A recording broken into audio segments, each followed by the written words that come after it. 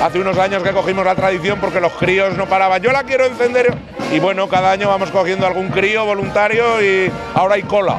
¿Seré yo este año? ¿Seré yo? Me toca a mí y bueno.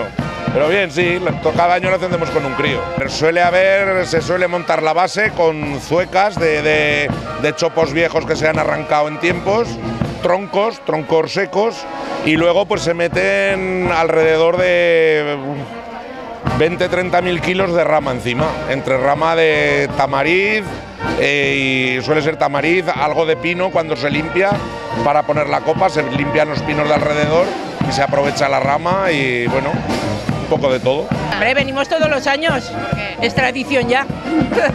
¿Por qué? Eh, Pues por eso, porque me llama, ¿no ves que he vivido, estuve aquí ocho años? Estuvimos de panaderos, sí. San Valero es el único día que se celebra en el día que cae, que será el viernes, y el resto lo pasamos a fines de semana, porque si no, pues es imposible de montar lo que, lo que se monta y así la gente de fuera pues puede venir y al hacerlo en fines de semana. ¿no? Es que este pueblo es muy acogedor y entonces pues nos gusta que nos vengan a ver en fiesta. Nos queda un fin de semana importante todavía, claro. Nos queda el día del patrón, San Valero, y el día de San Valerico, pues bueno, que nos pilla en fin de semana también, con lo cual eh, todo el mundo se puede permitir el venir. Y yo invito a todo el mundo a que vengan porque las, bueno, pues los espectáculos y las actuaciones que hay merecen la pena.